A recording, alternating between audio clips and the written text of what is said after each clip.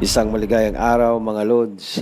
Maganda na sana ang pinapakita ni Mike Plania sa kanilang bakbakan kontra Elijah Purse kung saan naging agresibo ang ating kababayan na si Plania at nagawa pa niyang saktan itong si Elijah Purse pero nagkulang lang sa diskarte at mahina ang dipinsa kasama ang kanyang panga kaya natamaan ito ng isang straight left mula kay Elijah Purse na naging dahilan ng pagbagsak ni Mike Plania.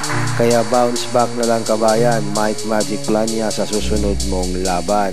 Sa ibang mga balita, Team Tapalis hindi masaya sa ibinigay na initial offer mula sa Team Inoue.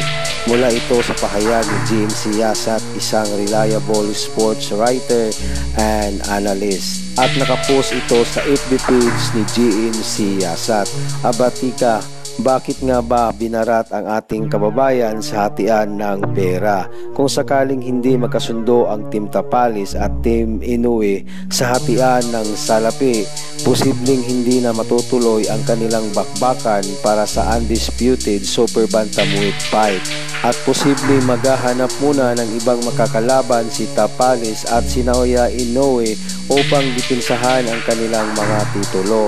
At kung mangyayari ito mga kalods, malaking oportunidad ito para sa Treasure Boxing Promotion para maikasa ang inaabangang bakbakan nila ni Casimero at Inoue na gustong gusto ng mga Japanese fans na mangyayari ang nasabing bakbakan. Hanggang dito na lang mga lods, maraming salamat po. God bless you all.